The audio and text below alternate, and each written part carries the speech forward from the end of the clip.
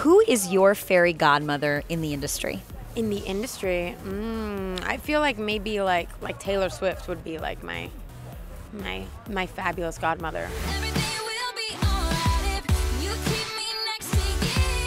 I started out and I was like a teenager when I met her, like 18 or something, and she always just gave me great advice. Was kind of was just always really supportive of me, um, and really like nurturing and sweet. Um, so in the industry, I would I would say her. Yeah.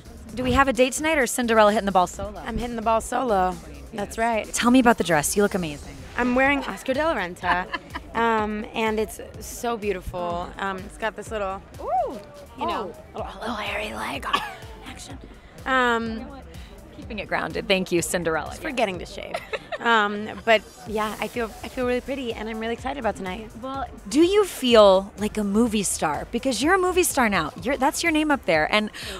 I mean, what I love is that Kay, for example, your wonderful director, keeps saying that you kind of are this incredible Cinderella story. You've worked so hard, and here you are. Has it all sunk in yet? Do you understand that you are the lead in this incredible feature movie? I mean, it's uh, amazing. I think that it's definitely not sunk in yet.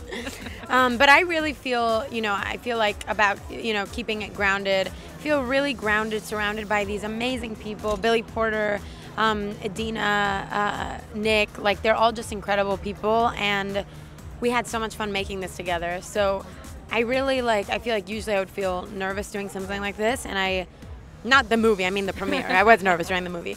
Uh, but I'm, I'm not right now. It just feels really celebratory.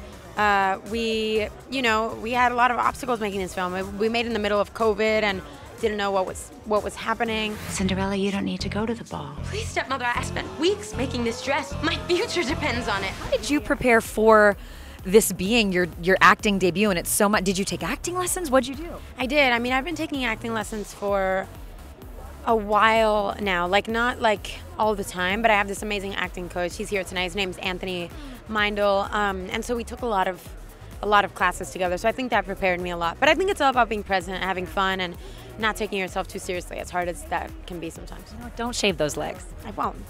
I'll never shave. Never shave again.